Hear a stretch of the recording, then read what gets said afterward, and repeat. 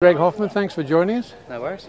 Tell us about this car. It looks very original, but I can see you've done some work on it. Yeah, we um, bought it as a hot, hotted up van, um, red motor, disc brake front end, um, bubble windows, it was all bucket seats, everything. Highly modified. Then. Highly modified, yeah. And uh, registration was uh, Hot 192.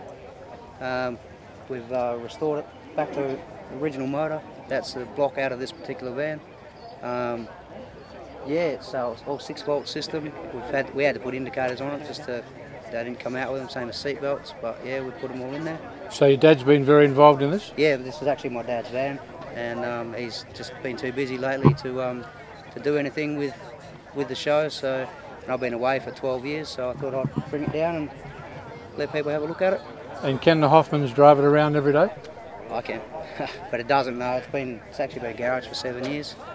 It's been um, yeah locked up since he come back from Melbourne. Been just put in the shed, so pulled it out yesterday. Did a bit of work to it, and yeah, it's all good now. Well, we appreciate you uh, sharing it with us. Thank you very much.